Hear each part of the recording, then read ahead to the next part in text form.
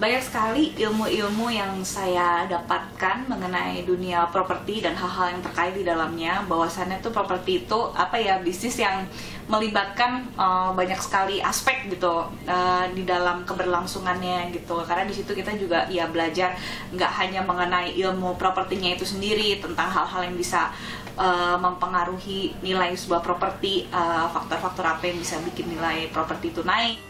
Karena kita mendapatkan berbagai macam pengetahuan dan teori baik dari praktisi maupun dari para ahlinya dari para guru besar ini mengenai teori-teori bagaimana mengelola suatu usaha bisnis properti.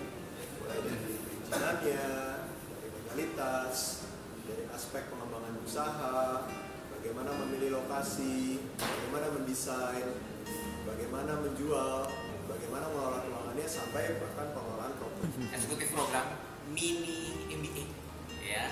Dan benar-benar mini package. Jadi selama saya mengikuti eh, tujuh sesi ya selama kurang lebih satu bulan ternyata saya mendapatkan banyak banget insight banyak sekali experience yang bisa ambil. Bisa dari pengalaman memang kita bekerja ataupun pengalaman dari uh, studi ya. Kebetulan saya arsitek uh, saya tertarik juga dengan urban design saya tertarik dengan dunia real estate ternyata itu membantu saya lebih memahami bagaimana seharusnya kita menyikapi bisnis real estate ke depannya. Dan di sini salah satu uh, program yang baik, program yang oke okay kita bisa mendapatkan apa yang kita.